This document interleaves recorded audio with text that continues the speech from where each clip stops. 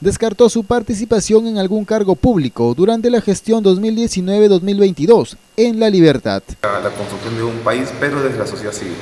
¿De repente como funcionario en alguna No, no, no, no, no, ya está descartado aquí en la región, no voy a tener ningún cargo ni ninguna municipalidad, tengo otras aspiraciones. ¿Asesoría, consultoría de repente? No, no, y salvo que alguien me pida que los apoye con alguna experiencia, encantadísimo, porque creo que eso trata también contribuir con el desarrollo.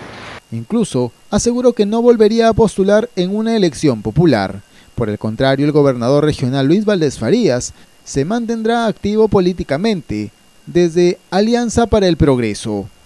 voy a hacer vida política activa, ¿no? Desde Alianza para el Progreso. Pero dentro del partido. Dentro del partido. Pero como futuro candidato. No, no, en lo absoluto, en lo absoluto. Vamos a hacer vida partidaria desde Alianza para el Progreso. Creemos que ese país requiere de políticos que contribuyan con ideas, con reflexiones, con propuestas para hacer un país más equilibrado. Tras el referéndum del pasado domingo, el titular liberteño prefirió no calificar la gestión que vienen cumpliendo los representantes de la libertad en el Congreso de la República.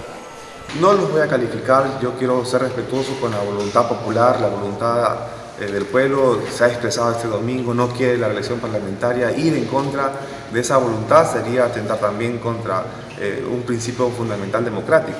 Ya creo que eso está, debe estar cerrado, no, no tenemos que seguir, digamos, haciendo eh, más escarnio de estos resultados, además nadie es indispensable. Valdés Farías, en tanto, sostuvo que la reelección de regidores y consejeros regionales debería ser evaluada.